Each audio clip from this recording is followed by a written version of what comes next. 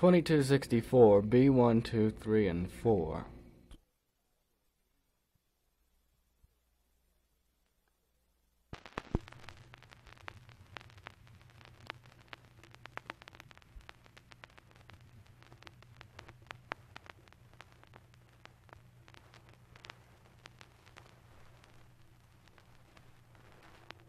When you go out on a grand coon out, you want to hit quick club very stout, with one end sharp and the other end blunt, and that be way for the coon hunt. So hunt, you hunters, hunt all night till broad daylight, to skin your coon in the morning. Oh, when the old hunter takes a gun in his hand, look out, old coon, your hide will get tanned.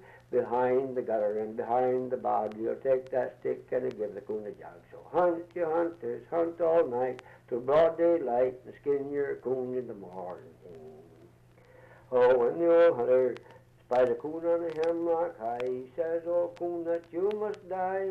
He levels away with his old smooth bore, and the rifle ball makes a raccoon door. So hunt, you hunters, hunt all night till broad daylight, skin your coon in the morning.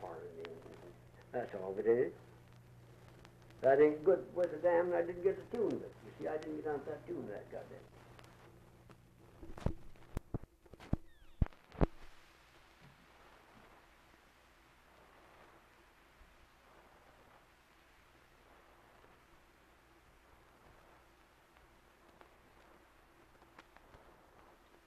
It the bank with an end the row and held a bag over the end the row and caught the potatoes when they come rolling down the hill.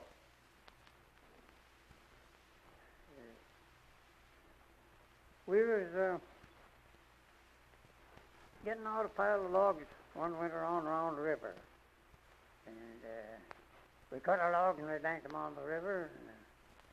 And, uh, in the spring, when the ice and snow went off, we started a spring drive log. Well, we drove the old log downstream for a couple of weeks. When we come to a set of camps, it looked just like old Paul's camps. So we drove for a couple of weeks more, and we come to a set, looked just like old Paul's. So we started the, the third week. We began to think there might be something wrong. So when we two weeks it up, we come to the set of camps again, and we went ashore. And sure enough, it was old Paul's camps. And there we'd been driving those logs right around round and round, on around the river all that time. Never knowed no difference. It didn't know that that river didn't have no beginning, no end. Just rode in a circle.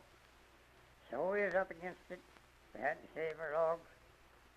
So we hitched up old Babe, big blue ox on the breaking pole, and we pulled a fire over from Round River into Manistee, floated the logs down the river, down the furrow into Manistee and saved the logs. That is the winter, cold winter, uh, that, uh, that we had such a big crew. The cooks couldn't keep the salt and pepper shakers full. They was all fagged out from running back and forth trying to keep the shakers full. And uh, you know how a lumberjack likes salt for his beans. Well, Paul and me got the idea hitting a team iron gray on the salt and pepper wagon. So I drove that team on the salt and pepper wagon up and down the table in the cook shack all the rest of that winter except Sundays. Sundays we'd have prunes for breakfast, and it'd take me all day to haul the prune pits out.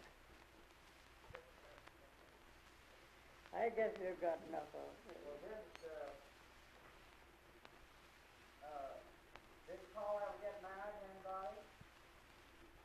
And, uh, you get, get it on there now? You it on there now? You get, it? It was on one brightly morning, a sparkling blaze of dew. I was on my way from Jackson, where I was forced to go.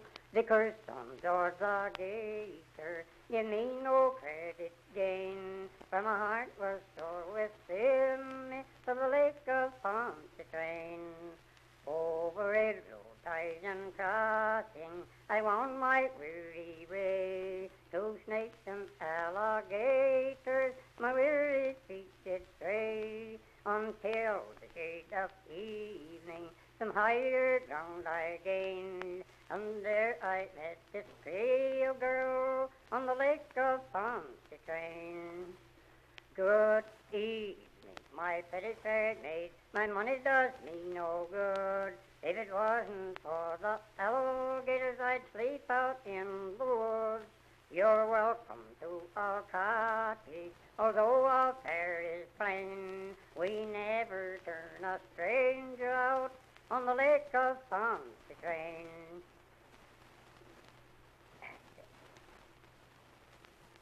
I tried to paint her beauty, but it was all in vain. So handsome was this clear girl on the lake of Pontchartrain. Her hair sunk in ringlets, around her shoulders fell. Regatea, I touching regatea, I touch regatea.